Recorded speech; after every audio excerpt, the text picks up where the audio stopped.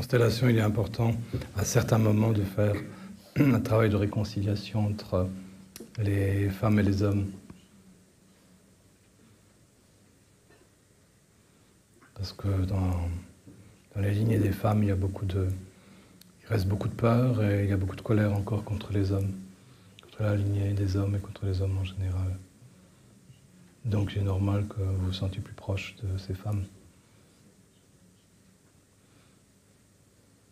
Donc c'est un travail personnel de réconciliation, mais c'est souvent un travail plus collectif de lignées entières qui est important de faire. C'est pour ça qu'il est tellement important de participer à des formations en constellation, parce que de temps en temps on fait un travail qui est plus global, une constellation où on fait une constellation de réconciliation des femmes, ou euh, parfois on crée un cercle des hommes, quelque chose agit dans l'âme de tous ceux qui participent alors. Et c'est pour ça que c'est important. Et souvent, il n'y a pas besoin d'entrer dans le détail de ce qui s'est passé, puisqu'on sait, on connaît l'histoire. Ça fait des siècles que les femmes souffrent de la violence et la bêtise des, hommes. Donc elles ont commencé à se venger depuis quelques années maintenant. À faire payer cher aux hommes hein, ce qu'ils ont fait depuis des siècles. Et nous, nous pouvons commencer déjà à prendre encore un peu plus d'avance. C'est nous situer dans une époque où les femmes ne subissent plus la violence des hommes, où elles ne se vengent plus. Hmm? Mais juste l'étape suivante, qui est l'étape de la réconciliation possible.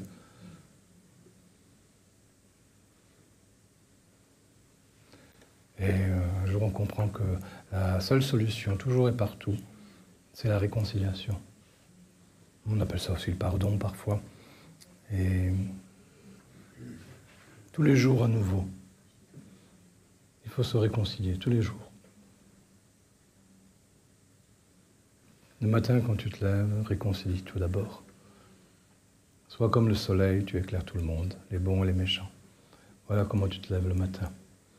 Et pour ça, il faut que tu sois bienveillant envers tout le monde, les bons et les méchants. Tous dans le même panier. Voilà. Et tu es bon avec tout le monde.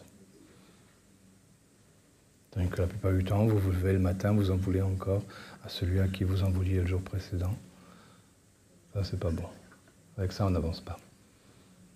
Avec ça, on fait durer euh, les violences et les rancœurs du passé. Il n'y a qu'une seule façon de dépasser ça. Tous les matins, c'est un nouveau jour qui se lève. Et il est vraiment nouveau. On décide qu'il est nouveau. Et les numéro un, ils vont dire oui, mais la justice là-dedans. Hmm? Ben, la justice, remets-le, remets-la entre les mains du karma, si tu crois en Dieu, dans les mains de Dieu ou de qui tu veux. Mais toi, fais pas ça. Toi, élève-toi plus haut que ça. Toi, sois comme le soleil.